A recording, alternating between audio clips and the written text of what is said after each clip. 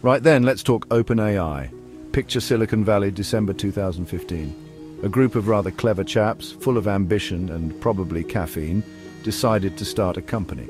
They weren't interested in making a quick quid, though. No, these lads wanted to change the world. They called it OpenAI, and their goal was to create something called Artificial General Intelligence, or AGI for short. Basically, they wanted to build a computer that could think for itself, like a really, really smart dog, but without the mess on the carpet, hopefully.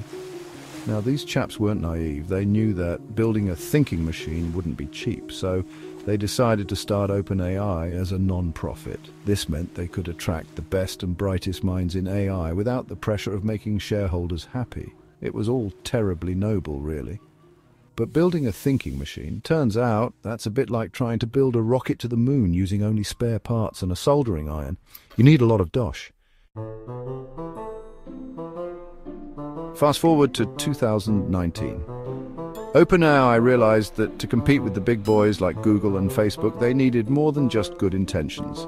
They needed a proper war chest, so they did something a bit controversial. They switched from being a non-profit to a capped profit company. Now, I know what you're thinking. Capped profit sounds a bit fishy, but bear with me, it's not as complicated as it sounds. Essentially, they decided to limit how much profit they could make. Anything over that limit would go back into the company or to good causes. It was a clever move, really. They could attract investors and keep their original mission intact. Now, let's talk about the cool stuff. OpenAI has created some truly mind-boggling technology. First up, we have GPT, which stands for Generative Pre-trained Transformer. Sounds a bit dull, doesn't it? But trust me, this thing is anything but dull. GPT is a language model that can write just like a human. Give it a topic and it'll churn out an essay, a poem, even a script for a play. It's quite spooky, really. Then there's DALL-E, which is like the artistic cousin of GPT.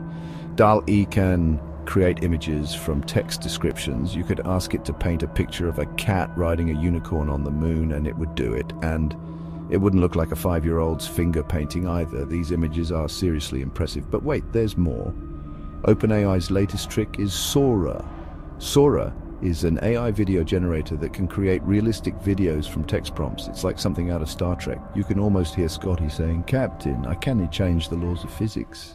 But OpenAI seems to be doing just that.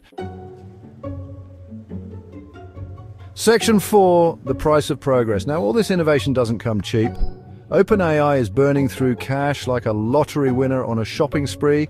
They're projected to lose a whopping $5 billion in 2024 alone. That's a lot of moolah, even for a company with deep pockets. But they're confident that their investments will pay off in the long run. They're betting big on the future of AI, and who can blame them? Section 5 Silicon Valley's golden ticket. Despite the eye-watering losses, investors are lining up to throw money at OpenAI. They're currently in the middle of a funding round that could value the company at a staggering $150 billion. That's more valuable than some small countries. It seems everyone wants a piece of the AI pie. But it's not all sunshine and roses. OpenAI has faced its fair share of criticism. Some people worry about the ethical implications of their technology. What happens when AI becomes too intelligent? Will it turn on us like in those sci-fi films? These are valid concerns and it's important for companies like OpenAI to proceed with caution. But for now, OpenAI remains at the forefront of the AI revolution. They're pushing the boundaries of what's possible and that's a good thing. After all, who knows what incredible breakthroughs they'll come up with next. Maybe they'll invent a self-driving car that can make a decent cup of tea. Now that would be something.